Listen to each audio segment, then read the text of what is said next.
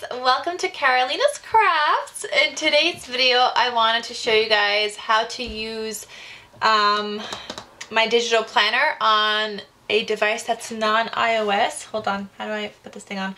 This is not even mine guys, so bear with me for a second here as I'm just trying to show you guys and get through this video of like showing you how to use the digital planner on here. Oh my gosh, you can see like my reflection. This is not fantastic at all. Why? Why? Why? Like, my face is in the screen. Okay, guys, let's try to not focus on that. I will even try to move over to the side. I need my brightness up. How do I turn my brightness up on this thing? I need a phone a friend. How do I turn the brightness up? Alright guys, we are back. I'm going to show you guys quickly how to um, work with your planner or the digital planner. I don't know if this works for all planners specifically, but I know it works for my planner. And I know the app Metamoji is available for this Microsoft Surface Pro. It's also available for um, Android devices and I also believe Samsung. There's an app called Metamoji. Now I normally use my iPad with GoodNotes but I wanted to show you guys some other options because I know not everyone has an iPad. So anyway, you're going to download the app Metamoji. I will show you guys. You guys can use the light version, but there is a paid version which allows you to do something else. So I will go over that as well. Let me just open up um, the app Metamoji and show you guys the planner. Alright, so this is what the digital planner will look like in the app Metamoji. So on the side, this is like basically what it looks like. You have the first page, you have the second page. It changed like the font a little bit on Metamoji, but that's not a big deal. Nobody's really looking at this page anyway. You have your next page, which is the index. You then have, oh my gosh, I suck at swiping. You have this page, which is leaving behind and looking forward to. You have a dot grid page. I should just click this button down here. You have a lined page and then you also have a blank page, just like so. Then you get into your months. Now this is January. The features up here, you have the same feature as like writing. You could like, you know, change the thickness of your line. Um, I don't really know how to change the color. Oh, right here. So before you start writing, that just popped up. So let's say I want to write in pink. I could write in pink just like that.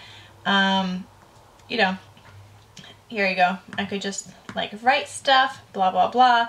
I could also use the erase tool where here it just allows me to erase things, but you literally have to erase the whole entire thing. So let's not scribble on my planner again because I have to retrace my lines to erase them. So that's the erase tool. Um, you could change the thickness of your erase tool. There's a thinner line, a thicker, thicker, and then there's also the one that you that allows you to clear the page, which is the last one.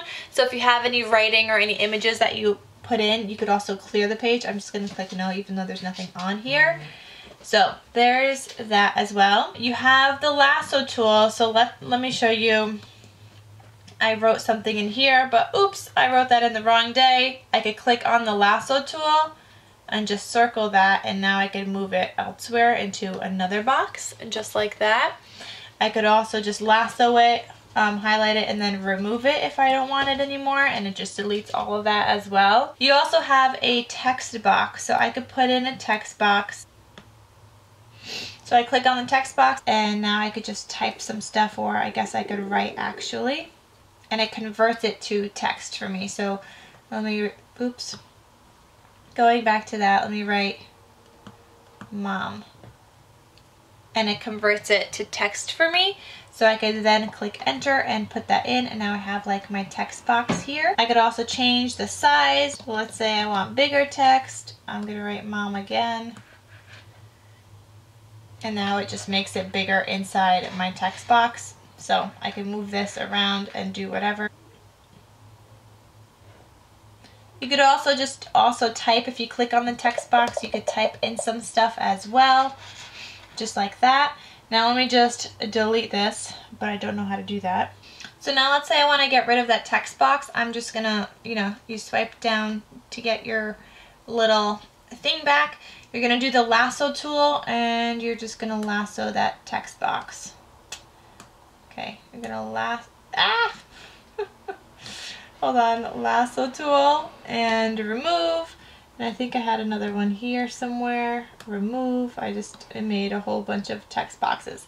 Okay, so that's that um, text box tool.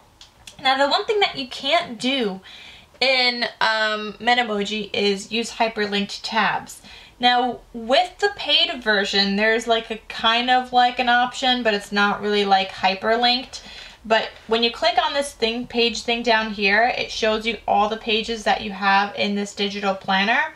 So you could just scroll through here and like oh be like oh this is, must be February, March, whatever and you could click on your pages like that. But what else you what else you could do is let's say I'm going to go to March, for example.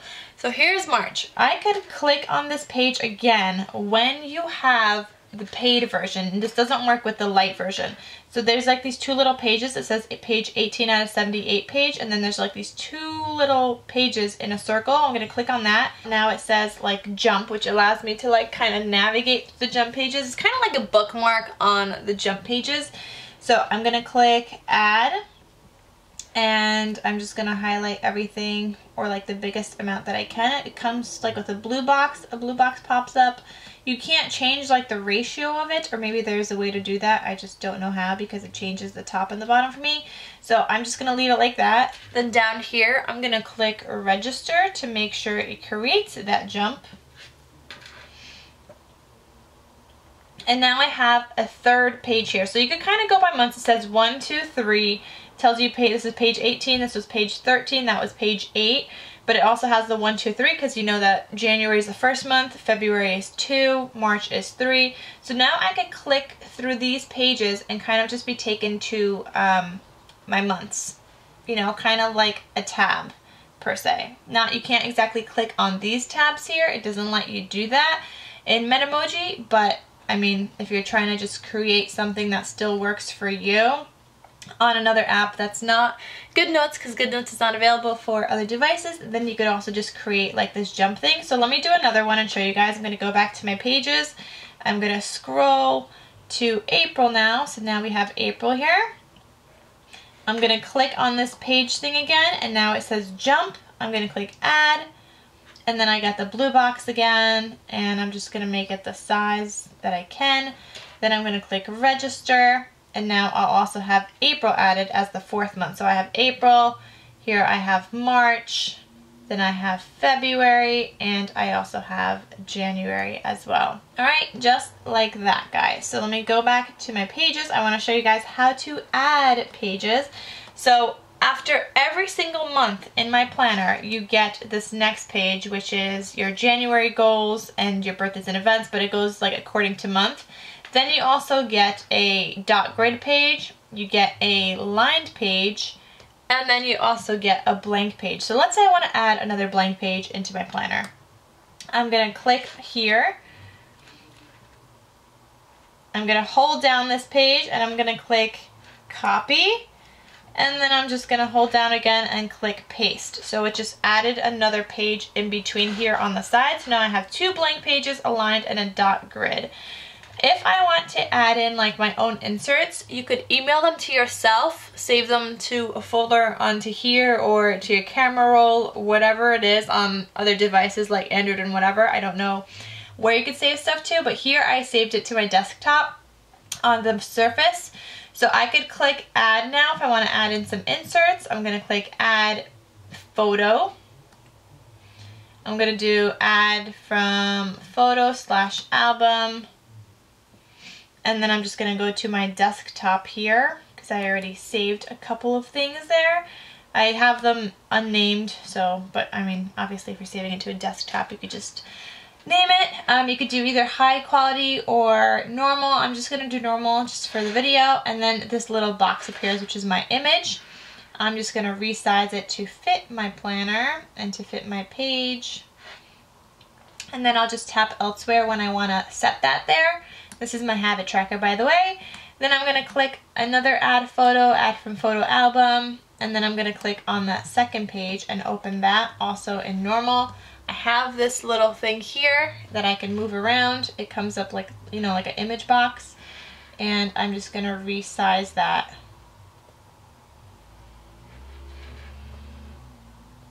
I think the hardest part with resizing things is trying to get them match up to be the same size on both sides because I like the bottoms to like match up and everything so I think that is the hardest part.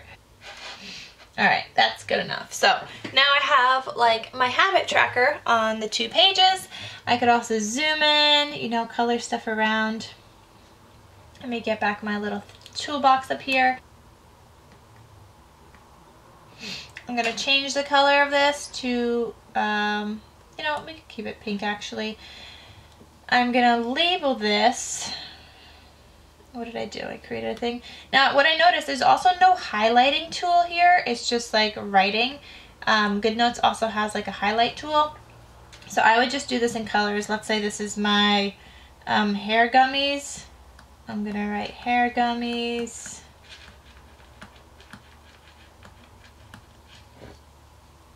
It also kind of just reads my palms, not as good as the iPad. But let's say I wrote hair gummy, and then I could color in this box as I complete it that day. So this is for a second, the third, and so on.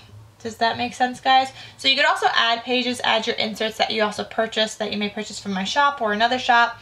Um, this one in particular is from my shop, just the habit tracker.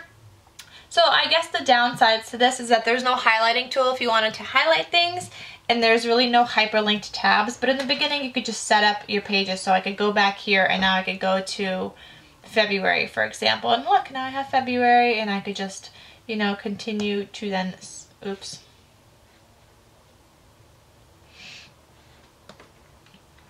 And you know I could just continue by swiping to my next pages as well this touch screen on this thing is very different than my iPad, so it's a little complicated. But I hope this video helped you guys a little bit. Um, the app Memoji does work. Um, other people have also told me the app Xodo, X-O-D-O, also works, but that one does not have a lasso tool like here. So you can't like highlight the whole entire thing and like move it around. I mean, I'm sure there's ways that you could still move things around. I just don't know how. Um, but that one does have hyperlinked tabs. So there's the two apps, Xodo, Xodio, and then Metamoji that works with other devices. And I know it works with my planner because um, people have told me and I just showed you on Memoji as well. I hope this helped you guys. I will have any links down below that you guys may need to the planner and to the inserts or whatever. I have tons of different inserts so you guys could customize your planner. You guys saw that you could add pages, remove pages, so you could truly customize your planner to fit your needs and add any pages with other inserts that you guys may want. Something that works for you and that's the, one of the things that I love most about digital planning is that it's like fully customizable. Now this app is a little limited because it doesn't have the hyperlink tabs, but I showed you guys a way to kind of get around that. So I think this definitely could work for you guys. I think the other app might also work for you guys, so I would just recommend giving it a try.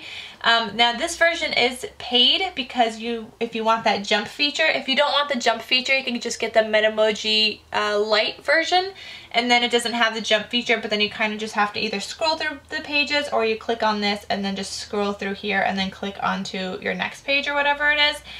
Um, so you could do it that way, or, you know, just scroll through your pages like this. I'm not even a really good scroller on this on this thing. Ah, I like I would rather just click the buttons down here. Here's my next page. Here we go. and just kind of flip through the pages like that.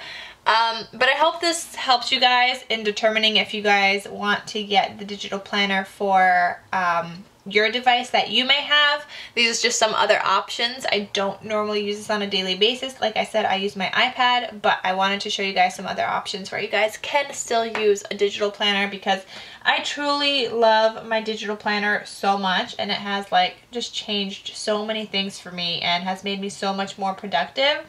And if that could do that for you guys as well, then that would make me so happy. So I thought I'd give you guys this option.